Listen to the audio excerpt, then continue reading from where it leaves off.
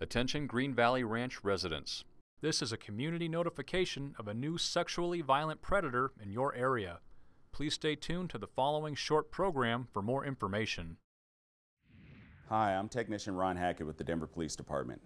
The Sex Offender Registration and Compliance Unit at DPD is responsible for the registration, monitoring, and tracking of all registered sex offenders and sexually violent predators who live in the City and County of Denver. Here's a brief history of sex offender legislation in Colorado. Our state laws trickle down from federal government mandates. In 1994, we had the Jacob Wetterling Act, which mandated that states would establish a sex offender list. Megan's Law of 1996 said that the public would have access to those sex offender registration lists. The Pam Lychner Act of 1996 stated that some offenders might have to have lifetime registrations and the Adam Walsh Act of 2006 unified sex offender laws across the country. In Colorado, the legislature has determined that sexually violent predators, by definition, pose a higher risk to the community at large, and therefore mandated that upon their release from the Department of Corrections, the community must be notified. Sex offender notification in Colorado happens in two ways. The first is passive and ongoing through the sex offender registration process, which is a list maintained by local police departments. The second way is active, via community notification for those offenders determined to be sexually violent predators by the courts or by the parole board. Most sex offenders in Colorado are supervised by the criminal justice system in our communities. Most sex offenders engage in crossover behavior, which means they may have been arrested for one type of crime, but be apt to commit another. Many sex offenders have no criminal history at all prior to their arrest. There is no typical sex offender but all tend to be deceptive, manipulative, and secretive. 80 to 93% of sex offenses are committed by someone known to the victim. Sexual deviancy begins in mid to late adolescence. Sex offenses are not impulsive. They are usually carefully planned, and most sex offenders are male.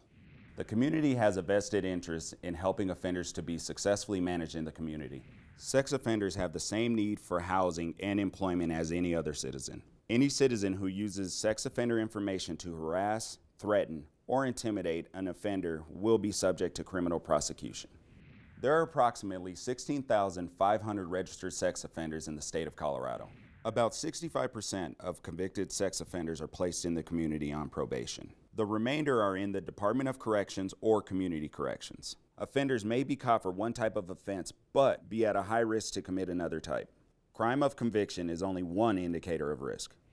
A sexually violent predator must register with the Denver Police Department Sex Offender Registration Unit every three months for the rest of their life. The offender's residence must be verified quarterly by the Denver Police Department. The full sex offender registration list is available by calling the Denver Police Department Identification Bureau at 720 913 6756 Convicted felons and those with multiple convictions are posted online at denvergov.org slash police. Remember, sexually violent predators do not represent all dangerous sex offenders. The community notification process and sex offender registration are not a complete deterrent to sexual assault. Now, here's a look at the newest sexually violent predator living in Denver.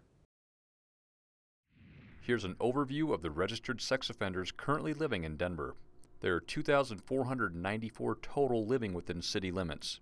In Denver Police District 5, there are 252. Precinct 523 has 73 registered sex offenders. Of those, 43 have felony convictions and 30 have misdemeanor convictions. Kristofer Jon Salazar is a sexually violent predator currently living in Denver. He's 30 years old and was born on August 17, 1989.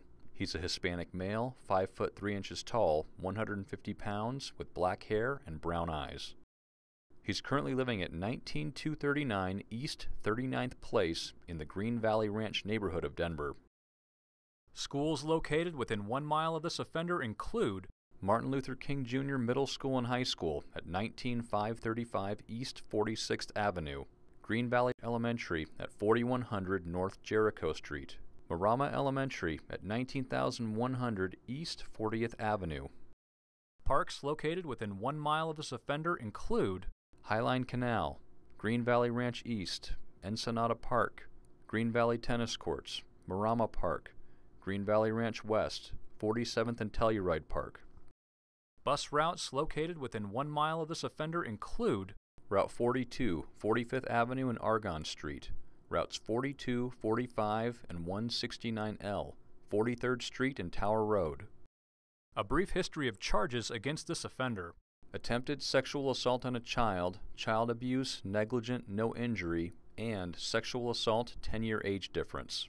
He's not currently on parole and registered with the Denver Police Department on August 2, 2019 to 19239 East 39th Place in the Green Valley Ranch neighborhood of Denver.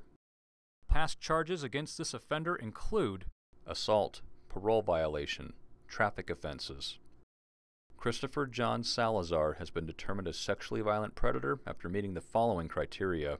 Criteria 1 Age 18 or older on the date of the offense, or under 18 and tried as an adult. The offender was age 20 at the time of the offense. Criteria 2 The crime must have been committed on or after July 1, 1997, and convicted on or after July 1, 1999. Crimes include sexual assault, felony unlawful sexual contact, sexual assault on a child, sexual assault on a child by a person in a position of trust. The offender was convicted on January 10, 2011 for attempted sexual assault on a child, child abuse, negligent, no injury, and sexual assault 10 year age difference.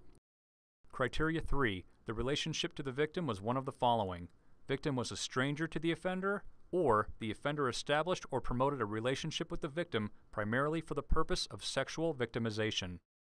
The victim was a nine year old female. The offender was known to the victim.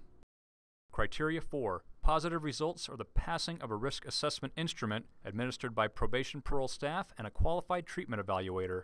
Positive results include an assessment for the presence of a mental abnormality, a level of denial regarding the offense, treatment appropriateness and motivation, presence of sexual deviant interests. The offender was evaluated by the Denver County Courts with positive results, determining him to be a sexually violent predator.